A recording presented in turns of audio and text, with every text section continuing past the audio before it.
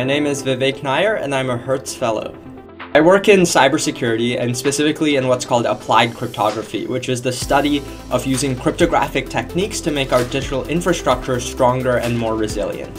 You know, cyber, unfortunately, it's one of those fields that you only really hear about when something goes wrong, right? But when it goes wrong, it's often in a major way. A lot of what I do right now is look at existing common threat vectors and see how we can use modern cryptography to engineer an effective countermeasure.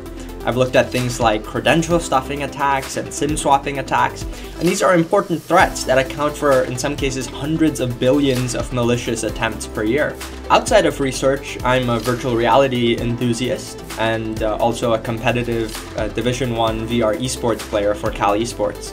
So last year I was the captain of the national championship winning Beat Saber team.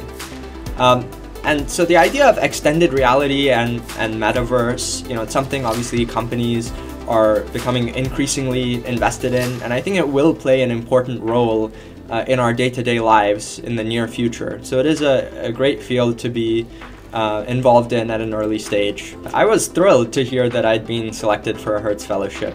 I was in my uh, office actually when I heard the result, and so my colleagues were there as well, and they were very excited too. I'm really looking forward to getting to know the other Hertz Fellows uh, a bit better. I know there's a vibrant Hertz community, not just here in Berkeley, but also around the country. Um, and so I hope I get um, opportunities to collaborate with them in the near future.